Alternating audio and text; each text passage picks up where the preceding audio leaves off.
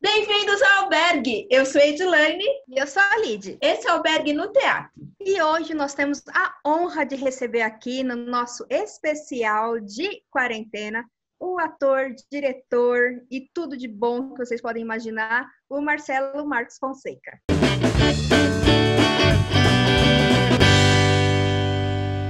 Marcelo, como que tá a rotina aí na pandemia? Você tá tendo? Como que tá tudo isso? É, a gente está procurando, em primeiro lugar, obrigado. Você sabe que eu adoro vocês duas, né? é, a gente está tá tentando achar caminhos possíveis, é, contornos interiores possíveis para esse momento, porque o teatro parou. O teatro, né, ele, não, ele não tem nenhuma alternativa mais. É, é uma arte que não existe nesse momento. Né? É, eu entendo, eu defendo todos os meus colegas que estão fazendo outras coisas, com vídeo, com tudo isso, mas não é teatro, a gente sabe disso. Também não é nem essa discussão que eu quero ter, né? Hoje, assim. É tão óbvio que essa discussão fica girando em torno de si mesma, né? Eu ouvi a Clara Carvalho, por exemplo, falar uma coisa, ela falou assim, não é só fazer teatro, eu sinto falta de ir ao teatro. Né? Eu, eu sinto também, ele chega e entrar naquele lugar escuro lá, ver a peça das pessoas, ver o que as pessoas estão fazendo. Né? A falta disso também é muito difícil. E a companhia a gente tem se encontrado, estou escrevendo a peça nova, né, que é o ano que vem, o teatro faz 25 anos, o grupo faz 25 anos, né? E aí a gente está trabalhando na pesquisa desse, desse, desse material, né, mexendo um pouco com o tema, entendendo o que é a nossa trajetória. Então isso está nos dando uma luz, um certo fôlego, né, uma, um pouco de paz interior, mesmo sabendo que a gente não vai poder ensaiar muito tão cedo, né? isso é que eu fico. Demorei para me tocar disso. As pessoas ficam falando quando o teatro volta, quando o teatro volta. Mas o teatro volta antes do público e o teatro nós precisamos ensaiar e a gente não vai poder ensaiar, né? Então é, é, é a perspectiva é pior um pouco ainda. E a perspectiva do trabalho é que está nos mantendo vivos agora, né? A, a, é que nos mantém à vontade, entender que a gente tem algo para fazer lá na frente. E, então, nós formamos já uma equipe, uma, uma, basicamente uma equipe de trabalho, a gente vai mexer com vídeo nesse espetáculo. Né? É, não é por causa disso aqui, não, da pandemia. A gente já ia mexer com vídeo no espetáculo junto com a peça mesmo. Então, é, o Renato Simões, que é um, que é um cara que eu adoro, sou fã dele, ele veio fazer essa parte de vídeo aqui, ao mesmo tempo trabalhando com o Daniel Klausner no, no, no, juntando material para fazer um longa de 25 anos da companhia. 25 anos não, não sei quando vai sair, mas um longa na história da companhia. Então a gente está juntando coisas assim. Isso isso está nos mantendo esperançosos. A gente que passou também algumas barras pesadas, eu acho que encontrou algum equilíbrio né, espiritual um pouco na vida, eu sinto um pouco na obrigação de dizer que dá para ter um pouco de calma aí, segurar a onda, né, que é você cuidar do, do, entorno, das pessoas que estão do seu entorno um pouco. Evitar a depressão, evitar a tristeza das pessoas. Né? E claro que é uma armadilha diária isso. Qualquer coisa que se abre, você vê essa desgraça nesse país com essas notícias, não pode ver notícia você não pode ver para dormir, você pode ver de manhã para limpar durante o dia. Você não dorme, você tem pesadelo, você fica deprimido, né? Essa semana eu vi aquela foto da plateia do Berlim Ensemble sem cadeiras, né? Uma foto que se espalhou, todo mundo publicou. E aí eu confesso que aí eu escorreguei, aí eu caí, entendeu? naquele momento, porque a foto foi muito forte para mim. Né? É, teatro é o avesso daquela foto. E eu achei, inclusive, que era um deboche brechtiano do Berlim Ensemble fazer aquela foto. É isso. É a imagem da tristeza. Né? Eu achei que. E aí eu confesso que aquilo me deu um soco naquele momento. Assim. Só de manhã eu ligo no, nesses jornais matinais que dão notícia né, mais ou menos séria, né? que dá para você acreditar um pouco. Então, você, você filtrando, você consegue entender o que está acontecendo. Mas aí a apresentadora, ela mostrou essa foto. E mostrou no dia seguinte uma alegria é, são as soluções sendo encontradas. Não foi essa. Ela não entendeu. Ela não entendeu o significado dessa foto. Aquele sorrisinho na cara dela me deu uma raiva também ali, que curou meu dia, curou a, a tristeza da noite anterior. E é, é um momento assim mesmo, né? Que a gente está vivendo um, uma montanha russa de emoções, né? Porque a gente ainda vê muita gente apoiando o que não tinha que apoiar, muita gente que ainda confia, que luta pelo, né, pelo presidente, pelo Bolsonaro. E eu fico, mas não vê o que está acontecendo?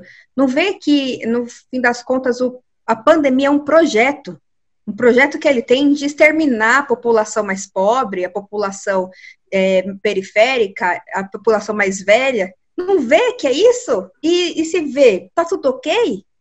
Né? Então, esse negócio me dá uma angústia. Mas vendo você falar assim, sempre dá um, um refrigério. Tipo, calma, vai dar tudo certo, estamos juntos. Tem muita gente pensante ainda no Brasil, graças a Deus, ainda somos a maioria.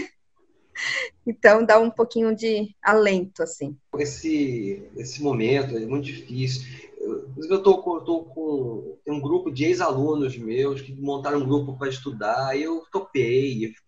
Ah, mas eu falei, tá bom, eu tô com, essa noite tá livre, eu fico com vocês, eu dou aula de brecha, a gente fica junto, eu não dou aula de nada. Mas é, é, é necessidade né, de estar perto das pessoas, né? É, as aulas, é claro que eu estou dando aula de teatro, mas não estou dando aula de teatro, estou dando aula de história da arte, estou dando aula, estou aprendendo a analisar texto, uma coisa que a gente nunca ia fazer por causa da dinâmica da vida, que não deixa você prestar atenção no essencial, né, na verdade, né, coisa toda. Isso está sendo, tá sendo bom, o que está sendo bom para ele está sendo bom para mim. É que é isso que você falou, vem embalado de uma outra coisa, de uma mediocridade, de uma cretinice. E, e a gente fica assim um pouco porque eles querem tirar nossa perspectiva, é isso. Né? Você sem perspectiva não fica esperançoso com as coisas. Então a gente tem que lutar nessa área, nessa área que a gente tem sim, a gente tem que projetar uma vida sim e parar de ouvir que a gente vai se reinventar, que isso aqui vai mudar, o mundo é um novo mundo. Não tem novo nada, gente. O, é assim, o capitalismo está pronto para voltar armadinho. Nós aqui não estamos. Chega lá na frente, ele já, já tem todo o projeto prontos. Nós vamos, que vamos recomeçar nossas vidas porque destruíram nossos projetos. Então a gente precisa só estar atento a isso, que eles não vão. Não vai ser assim tão fácil, não, que eles estão pensando. É uma violência cada vez que pedem para a gente se reinventar você tem que se adaptar. Agora é desse jeito. E vai ser. Agora é um, é um desastre. Mas isso vai acabar e nós vamos passar três anos na rua, sem voltar para casa. E vamos sair sem celular, o que vai ser fantástico. Ninguém mais vai querer fazer uma coisa assim, desse jeito, na vida.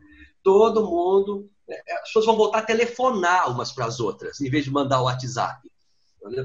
Eu já tenho feito isso também, meus amigos já têm feito isso. A gente telefona, a gente fala com a pessoa em tempo real do diálogo. Né? É isso que vai acontecer. Nós vamos querer abraçar as pessoas. É a circunstância. O Brecht diz assim: jogue um homem na água e imediatamente ele cria membranas. Né? É isso. A gente aprende. A gente aprende a respirar no lugar que está e depois faz o ideal. Só sinto dizer que eu tenho de todo lugar. Aos, aos os emissários do Apocalipse, que o teatro vai mudar, que o teatro, eu lamento dizer, o teatro vai ficar mais arcaico ainda, vai voltar, vai voltar ao seu estágio humano inicial ali. Capaz de querer fazer tragédia grega, Shakespeare, essas coisas, não faz nada de modernoso depois disso. É, é interessante que você mencionou uma coisa que todo mundo fala, né, do, da reinvenção e que você tem que ser forte, que você tem que estar forte, que você tem que estar preparado. É, e eu me lembro muito da palavra resiliência, né? Que um amigo meu, ele sintetizou bem assim. Resiliência é a palavra inventada pelo capitalismo para ele poder bater em você o quanto quiser e você ser obrigado a levantar. É uma invenção ali, porque quanto mais ele te bate e você levanta, olha, você é resiliente, olha que incrível. E tem horas que a gente não quer levantar, quero continuar sendo assim, não quero me reinventar, eu não preciso, como você falou, o teatro não vai sair, não vai virar uma coisa inimaginável. Teatro é lugar Realmente. de aglomeração. Teatro é lugar de aglomeração. Minha peça nova é sobre carnaval. Eu não posso fazer essa peça sem aglomeração. Difícil imaginar é, essa, é, esse desespero de produzir. A gente ser obrigado a produzir nesse momento também é uma violência tremenda. Isso é capitalismo puro. Eu não tenho que produzir nada Aqui a gente ainda usou de exemplo o Shakespeare para maltratar a gente. Ah, o Shakespeare escreveu o Rei Lear na pandemia. Aí você fica mais acuado ainda. Fala, meu Deus, eu tenho que escrever meu Rei Lear agora? Eu tô aqui. Não, não sou obrigado a nada, né? E, e, eu sou obrigado a entender o meu mundo interior e eu posso chorar. Eu, é hora de eu chorar, sim. Isso machuca a gente. A gente não pode fingir que não está machucado é, é, ter os momentos de coisas mais alegres, ter um momento de coisas mais tristes, mas é, é a montanha, a montanha russa, né? Amanhã, então, marcamos aí, né? A Cida Moreira, da gente se encontrar para fazer um negócio, fazer uma, uma live juntos, né? O Cida Moreira. Porque é uma amizade de 23 anos, a gente se conheceu, ela foi assistir uma peça minha, eu era fã dela, eu não sabia que ela tinha ido, foi na oficina, no dia da estreia, e aí eu a, a, atriz falou, não, eu sou aluna dela, ela veio. Mas ela veio que ninguém me disse que a Cida tá aí, porra, sou fã dessa mulher, né? Aí eu liguei para ela, lembro até hoje, foi uma segunda-feira, dia 14 de janeiro. Eu liguei para ela na hora do, da hora do almoço, falei, Cida, você, ah, eu sou sua fã, eu que sou seu fã, pô, eu sou fã, vai almoçar aqui. Aí eu tenho 23 anos que a gente tem esse, né? Então é, é, Os laços da gente, eles são duradouros das pessoas também. Nós não somos talvez no meio disso tudo a gente descubra que, que a gente tem vontade que as coisas durem, que as coisas não sejam mais descartáveis. Assim, talvez a gente, talvez não descubra nada. Talvez a gente só queira ir para rua tomar um pileque junto com as pessoas. Né? Encher a lata com os amigos todos. Eu vou, eu vou puxar a caixa de som para a calçada do teatro, vou montar uma roda de samba e só vou levantar dali a três dias da cadeira. Entendeu? Mas a gente vai fazer. Né? Que isso? A gente só pode a gente só pode entender que a gente quer ser feliz e que é, e a batalha vai ser dura porque eles querem realmente nos quebrar agora. E eu, o que eu faço da minha vida, né? que é teatro, eu não sou, eu não faço teatro, cinema, televisão, não faço vídeo arte, eu faço teatro, é só o que eu faço. A outra atividade que eu tenho é música, é samba, mas é roda de samba, eu não vou conseguir fazer roda de samba virtual, né? É, até, só, até o Zeca, só se a Brahma patrocinar, que nem patrocinou o Zeca Pagodinho para fazer aquela live dele lá, assim, aí os sambistas ficam longe, ao ar livre, uns dos outros. Não, assim é triste esse negócio, né? Os músicos muito distantes, você não consegue ter a cumplicidade. Então, eu acho que a hora que acabar isso aqui, é hora de celebrar as coisas na vida. No nosso caso, nós vamos ser os últimos a retomar qualquer atividade interna, inclusive. Nós vamos ser os últimos. Eu acredito que o teatro volte em fevereiro, gente. Eu estou trabalhando com essa perspectiva na minha vida, assim. E não estou nem dizendo que volta ao vivo ainda. Volta à produção. Isso, porque nós, nós não, não estamos ensaiando nada, não estamos produzindo nada. Como é que a gente vai retomar? Tem todo o tempo de produzir retomar, é, é, é todo o tempo de ainda, né? É assim que eu estou enxergando a situação. Tem dia que eu enxergo legal, tem dia que eu não enxergo legal, tem dia que eu me confundo, tem dia que eu estou mais certo das coisas que eu estou dizendo. Marcelo, as pessoas não têm conhecimento, às vezes, de onde você está localizado. E é uma região uhum. extremamente importante na, de São Paulo, ali na região do Bexiga. E você está fazendo trabalho social também, mediante esse caos, né? Como que é esse projeto seu? É, o teatro o teatro está na rua 3 de maio com a Santo Antônio, que foi um dos lugares mais emblemáticos da noite paulistana. Né? E no Bexiga, o Bexiga é onde nasceu o teatro paulistano, praticamente, com o TBC. É, aqui está tudo no Bexiga. Então, tá aqui está a oficina, está o TBC, né, com o desastre fechado. É, agora a companhia antropofágica veio para o Bexiga também. Né? Então, um pouco mais afastado está o Redimu. Então, um, a gente chamou da, uma liga de teatros, né? Em vez de ter a Liga da Justiça, é a Liga dos Teatros de Bexiga que a gente está fazendo agora. E nós não podemos atuar na arte, mas a atuação ela vai muito além de você subir, entrar em cena e falar alguma coisa, né? A região que a gente está, ela acolheu o teatro. É, eu costumo dizer assim, nenhum teatro sobrevive num lugar que não queira que ele fique. Mas ali as pessoas nos agradecem numa certa hora que a gente colocou luz, iluminou toda a esquina que estava dominada né, pelo tráfico, pelo que a gente chama do, do, como é que é o comércio informal das ruas, né? Estava todo dominado ali.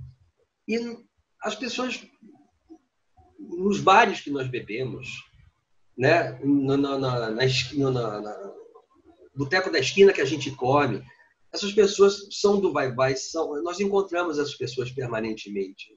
Né? A Gabriela Morato, que é minha sócia, que é minha parceirona no teatro, ela trabalha num projeto social da Igreja Nossa Senhora da Querupita, que, que, atende crianças do contraturno escolar. Então, há um cadastro das famílias todas. Então, nós temos um grande número de refugiados aqui. E, de repente, a gente descobriu que a fome, que alguém falou já tarde para mim, o Bexiga é um bairro de periferia no centro, de extrema periferia no centro de São Paulo. Ele é diferente, da, da, da, ele, não, ele não combina com o bairro ao lado, ele é muito único. Né? Então, é o cara que, que vende cafezinho no Braz, no comércio que não pode vender, né? As pessoas estão perdendo emprego, a quantidade de refugiados que você tem ali, as pessoas moram em lugares é, às vezes desumano. Tem, você tem seis pessoas dentro de uma casa, entendeu? Com uma cama, dentro de um quarto, uma cama. Né? Então a gente já conseguiu cama para essa família, por exemplo, os filhos também, por doação e gente que doa transporte. E aí a gente, né, a Gabriela teve essa ideia, ela falou, olha, eu, ela fez uma ação e ela ficou muito sofrida de olhar, ela falou que eu não conseguia mais olhar por das pessoas. Foi, eu preciso fazer alguma coisa. Eu falei, não, todos nós precisamos fazer alguma coisa. E acho que o teatro, ele é o epicentro dessa comunicação de carinho, né? Porque não é pegar e dar bolacha para encher o bucho, é ir ao mercadão comprar legume, comprar fruta, comprar coisa, né, ovo, comprar coisa com consistência para a pessoa, perecível, que ninguém pensa que isso é importante, né? Ninguém vai ficar comendo sardinha em lata a vida inteira só, né? É, não é porque é, doação é diferente de caridade, de esmola. Doação é afeto. Né? Então, tem toda a doação tem várias, várias frentes. Pessoas do teatro que estão indo lá, que bota a máscara, pega álcool gel, fica à distância, mas a gente é que monta as cestas todas. Então, se é para correr risco, vamos correr risco por algo que vale a pena. Né? Que é isso aí. E não tem como não correr risco. As pessoas estão precisando sair para trabalhar porque elas não têm o que comer. Então a gente tem que. Então a gente cadastrou na primeira vez, ela fez isso, foram 150 pessoas. Aí cadastrou, foram 260 na segunda ação, 260 cestas. Aí agora precisa fazer outra. E tem mais, já tem mais umas 90. As pessoas não têm aonde buscar as coisas. E aí cada vez é uma tristeza, porque eu abro o teatro, hoje eu fui lá no teatro. Cinco minutos, duas pessoas foram lá perguntar se a Liga fazia cadastro. Então sabe que a situação está difícil, está ruim. E não dá para não fazer nada, não dá para o teatro não ter essa atuação. Eu acho a atuação social do teatro a mais importante de todas nesse sentido. E social não é fazer projetos sociais. Né? O social, como é o projeto de criança e de adolescente que a gente tem lá, que é o SOLT, que né, agora estão fazendo aula por Zoom. As crianças estão aprendendo também, né? para não desestimular, porque é o sentimento que é importante também, não é só. Né? Isso é um projeto social porque a gente tem a obrigação de viver num mundo onde, onde, onde tenha uma informação diferente, onde tem uma cultura musical diferente, onde a criança cresça emocionalmente um pouco mais equilibrada com as coisas para poder, inclusive, descobrir o que é peça ruim e o que é peça boa. Quando chega o personagem, ou monta-se a cena, ou a luz, ou o texto, a direção, é tudo consequência disso. É tudo consequência do, da sua ação no mundo. Nada é um. Não é assim, ah, eu, eu, a técnica, eu sou, sou ator, não faço nada, mas eu sou ator, técnica. A técnica ela serve a alguma coisa maior também. Se você não conseguir absorver o mundo, o que, que você tem para dizer em cena? Você pode ser uma atriz, né? pode ser o ator mais talentoso e belo e técnico que existe. Mas o que, que você tem para dizer para as pessoas? Se você está falando em nome delas. Você precisa conhecê-las. Né? Ali eu sou eu sou captador de recurso, montador de cesta e, e vou buscando coisas. Consegui carrinho de criança, o um cara maravilhoso chama Marco Antônio Araújo. Um cara fantástico. Ele era dono do balão de, Tararé, assim, uma pessoa que eu tenho uma admiração muito, muito grande por ele. Assim. Ele doou coisas maravilosas, roupas boas, mais pessoas, Paulo Marcos. É, é, muita gente está me procurando para fazer essa doação. E o, a sexta, a gente está aceitando o depósito de dinheiro de qualquer quantia. Porque não é que a pessoa. Né, uma pessoa que eu agradeço muito, uma pessoa que depositou mil reais e ainda ofereceu para transportar coisas. Né? Eu agradeço demais, é uma doação poupuda, né? uma doação assim que você fala, nossa, te dá uma fé que vai dar certo, a coisa toda. Mas quem doou cinco somou com isso. É, é, é o mesmo valor, não é o, o, tanto do dinheiro. É igual pague quanto puder no teatro que a gente sempre fez. Né? Põe no envelope, ninguém sabe quanto doou, quanto doou para a companhia, às vezes tinha 150, às vezes tinha 20, às vezes tinha 5. É o que a pessoa pode fazer pelas coisas. Né? E isso é muito grande quando a pessoa faz o pouco que ela pode, é muito grande. Então a gente conseguiu essas 400 cestas aí, quase que foi agora, e vai ter que fazer outra leva, mesmo que a comida acaba. Não dá para ter uma, oh, fizemos uma cesta. Não, a cesta acabou. Precisa fazer outra. Você estava falando sobre é, a diferença entre pessoas que às vezes aparecem, né, ou que tem um tipo de conteúdo. E tem uma frase do Marcelo D2 que eu sempre falo, que é celebridade é artista, mas é um artista que não faz arte um orgulho enorme de pertencer a essa classe de artistas de São Paulo.